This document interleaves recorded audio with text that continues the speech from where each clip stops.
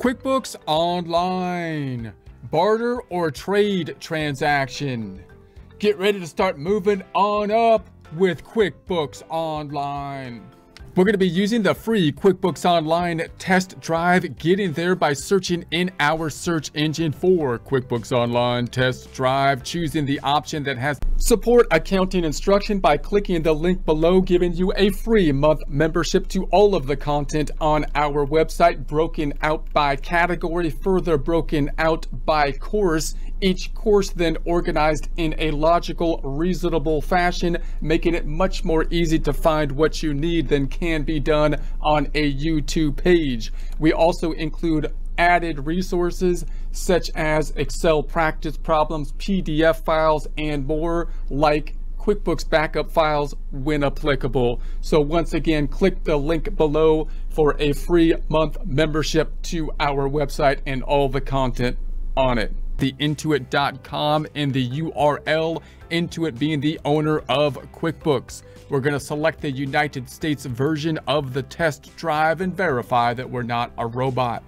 Zooming in a bit by holding down control up on the scroll wheel, currently at 125% on the zoom in. Note that if you hit the cog drop down, we can switch back and forth between the business view and the accountant view. We're currently at the accountant view. We'll try to toggle back and forth so you can see where things are located under the two views.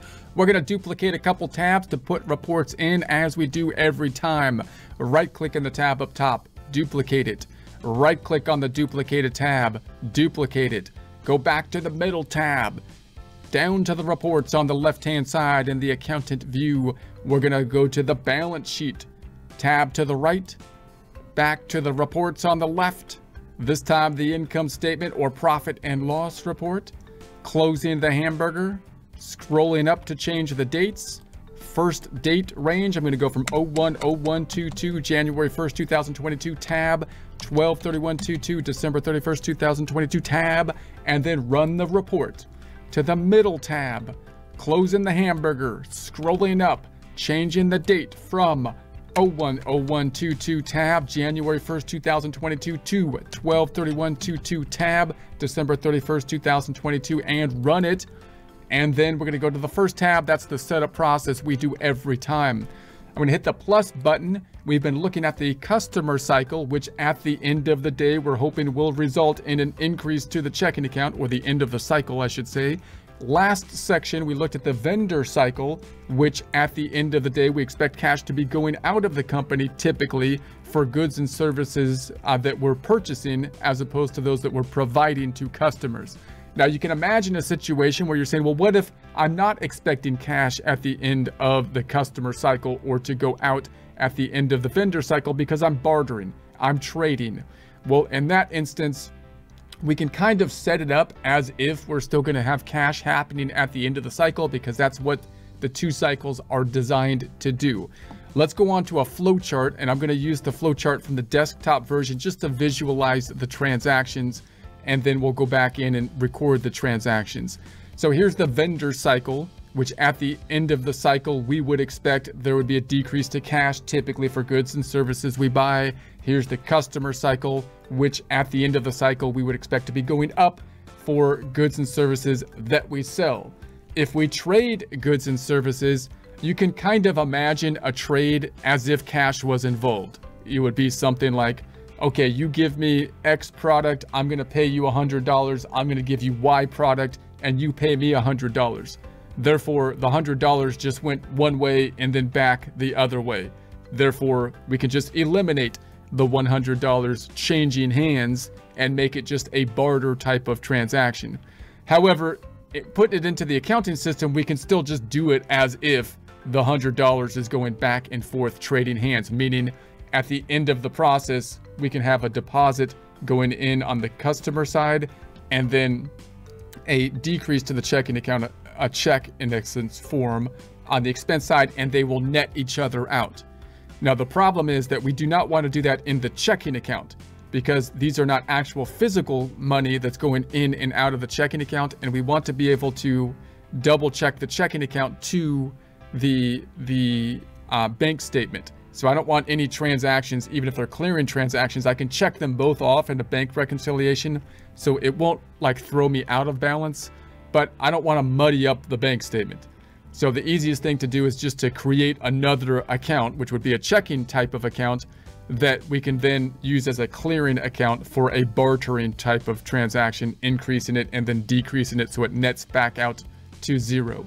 That also allows us to basically, if we're going to have a have a, an accrual kind of process, for example, if we provide the services first, with it I can enter an invoice in the same way that I normally would, even though I don't expect cash to be received, but instead goods and services from the other uh, vendor and then I can I can check up on them and say, hey, you haven't given me my free meal yet, or whatever it is, whatever they're supposed to give me. And on the other side of things, I can enter a bill, and then for goods and services that have been provided to me, and I can still track the payable. I can still say, yeah, I need to pay this person, even though I'm not going to pay them with money. I'm going to pay them with uh, my, goods and services that we are going to provide in equal and opposite, you know, measure would be the general idea. So we're gonna we're gonna enter the same transactions. The only difference is I'm gonna end this thing with with it going into a clearing account. Let's pretend we're providing goods and services and getting goods and services that have an equivalent value of like you know a hundred dollars. So let's do this. We're gonna go back on over. I'm going to go back into my chart of accounts, which in the accountant view is under the accounting area. And then I'm going to clear this chart of accounts. I'm going to then close this and I'm just going to make a new account, which is going to be a, a cash type of account, uh, but it's going to be like a clearing account. So I'm going to make a new account. So it's going to be a banks item. I'm going to hit the drop down here. It's going to go under the bank accounts, select the drop down this is going to be, let's put it in a cash on hand item. The account name, I'm just going to call it barter, like clearing account, let's say. And then there's not going to be any opening balance. I'm not going to put any added description to it for it. So I'm just going to say save that. And so now we've got this account that we can use as in essence our clearing account. So then I'm going to select the item up top and let's just record the invoice side of things first. So I'm going to go to the invoice and assume that we provided goods and services to uh, someone else who is going to return the favor and have a bartering transaction. So let's say this is going to be AAA here for the customer. That's all I'm going to set up for the customer. And if we were going to email it to them, we would need an email address, terms, net 30, that's good. And then down below, I'm just gonna make it uh, a service item. Now, obviously, if it was dealing with, if it was dealing with inventory, we can use the items to track the information related to the inventory and the sales tax and whatnot as well. Just because you traded something and no cash actually traded hands still doesn't mean that you're not necessarily going to be subject to sales tax and all that kind of stuff. But I'm going to just do a, a, a service transaction here and I'll call it this service one. I'm going to copy that and then say that's our description. The rate, let's just say is $100. It's going to go to the service income. I'm going to say it's not taxable. So I'm going to remove the taxation on this item that I'm setting up. Non-taxable item. That looks good. Save it and close it. And so there we have it. What's this going to do? Well, it's going to increase the accounts receivable. The other side is going to go to the service sales account, and it's going to increase the subledger for uh, our AAA customer, just like normal, just like it normally would. So I'm going to save that. We're going to say save it and close it. And then if I go back on over to the balance sheet and I was to go up top and run the report, then the accounts receivable goes up just like normal. We still expect to be paid, just not with money. So then I'm going to go back down and say, okay, there's the AAA, just like we would expect. Scrolling back up, back to the prior report, the income statement side of things, I'm going to run that report. We still have to record income, even though we didn't, we didn't, I'm going to go into the services, even though we don't expect to get cash. So we're going to say there it is there. If we have to pay taxes on it, we still typically have to pay taxes on it on the income tax side of things generally. So then we're going to go, there's that. So, and then the sub ledger, if I right click on this item, duplicate, and we go down to the reports And we're gonna close the hamburger and go down to the who owes you. Let's go to the customer balance detail report. And there's the AAA right there. The total of this report is at the 538152, which ties out to what's on the balance sheet for accounts receivable, which it should because we still expect to collect on it with something of equal value, just not happen to be cash. So if I go to the first tab, we can also track this like we normally would uh, for, for an invoice that was outstanding under the sales area. And we can find the sales by the sales tab, which is under the bookkeeping area and the business view. And we can search for, you know, the invoices, for example, and the open invoices here. We can also search for them in the customer area and look for AAA and say, hey, you you owe us something. You don't you're not going to pay us in cash. I, I know that just but you still have you still have to pay us whatever you're going to give us on that side. Now, if we recorded the other side first, it would look the same to start out, meaning we can enter a bill form, which is the form increasing the accounts payable. So let's say that they provided us with goods and services that we expect to return the favor not with cash but goods and services we can enter a bill.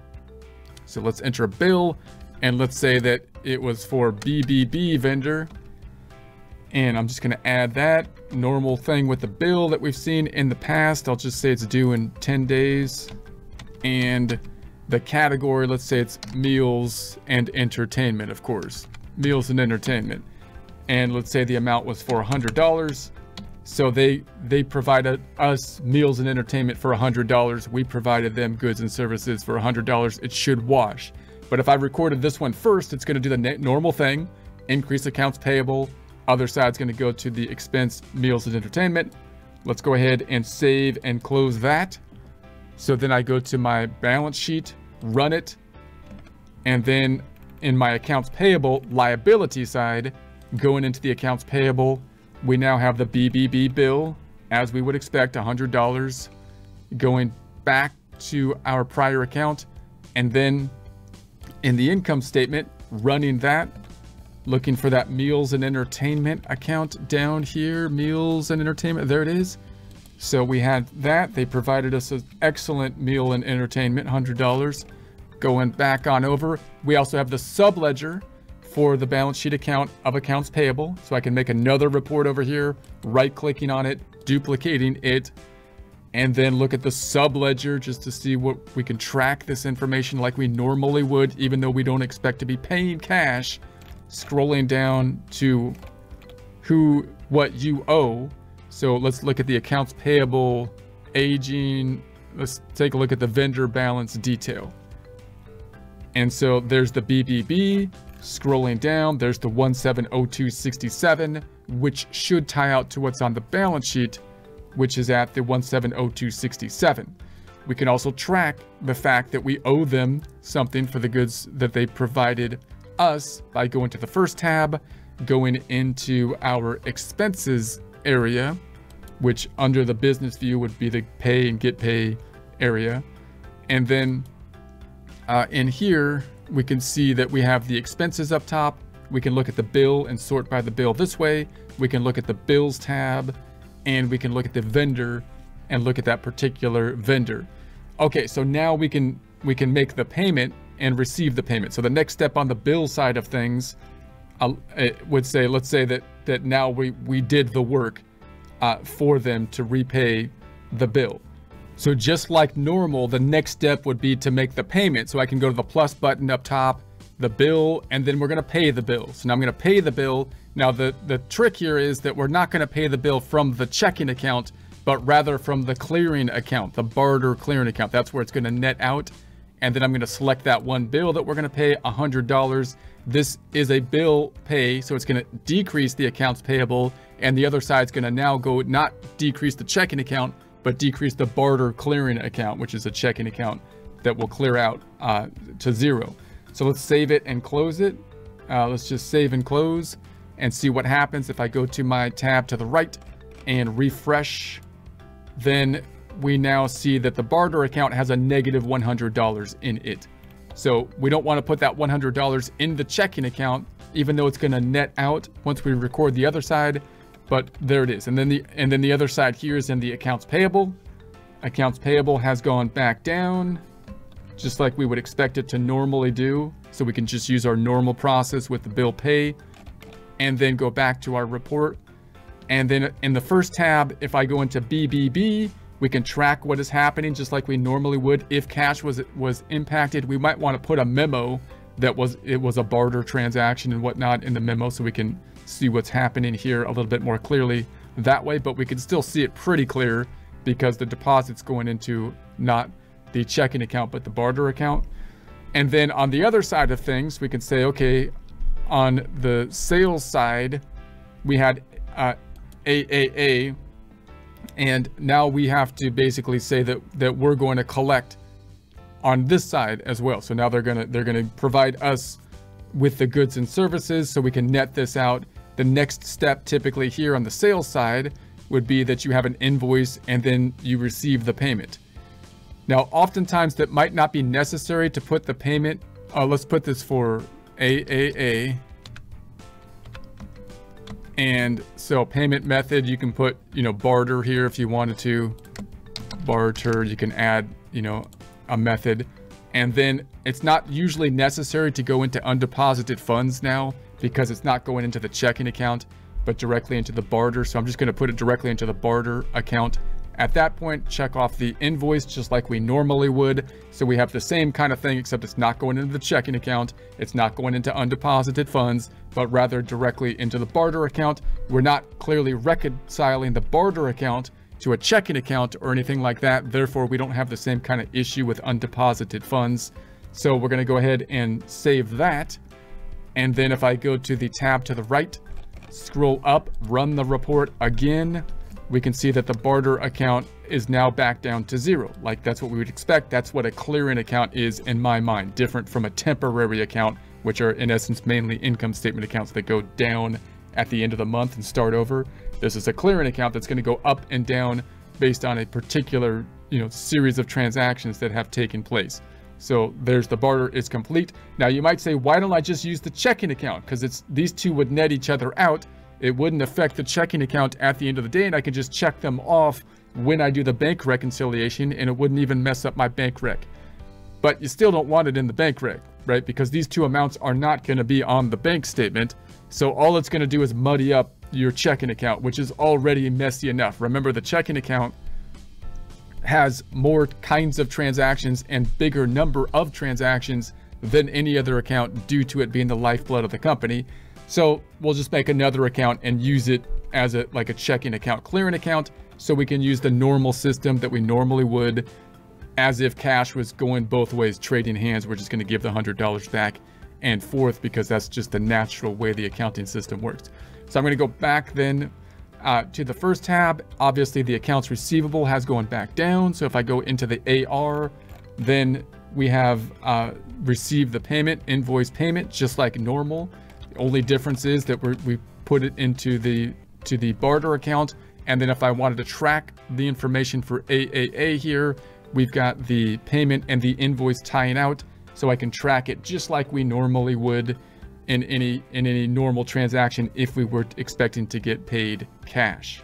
So just one last thing, if I go to the cog dropdown, switch to the business view just to see where these items are located in the business view. Uh, if you go to the home page or the get things done page or, or the dashboard, whatever you want to call it, it's the same. Drop downs are the same up top here. We've been working mainly in the get paid and pay area, meaning both the customer and vendor side are kind of in the same area. And you've got the cut the get paid stuff up top, the pay stuff down below. The get paid being the customer center or sales cycle, revenue cycle. Here's the customers. Here's uh, the invoices, and then on the pay side, you've got the vendors and the bills sorted down here. Now the transactions, both all of the kind of expenses transactions or or expense cycle transactions and the sales cycle transactions they put in a different location in this view which is under the bookkeeping view and transactions up top here's all the sales transactions where you're tracking normally outstanding invoices, for example. And then these are all the expense type transactions or purchases transactions and where we sort oftentimes bills in this area. So just note that the the layouts can change for QuickBooks. They might change things around, but the accounting process is going to be basically the same. One more thing, the chart of accounts here as well is under the bookkeeping view uh, here. So if I, let's go back up here and then go to the bookkeeping and then you've got your chart of accounts. So that's another uh, thing that we were we were looking at. So like I say, the, the all the stuff should be there no matter what QuickBooks does or how many different views they look at or what they change the names to. Uh, it's just going to be a, a different look and feel. We'll try to look at it from multiple angles.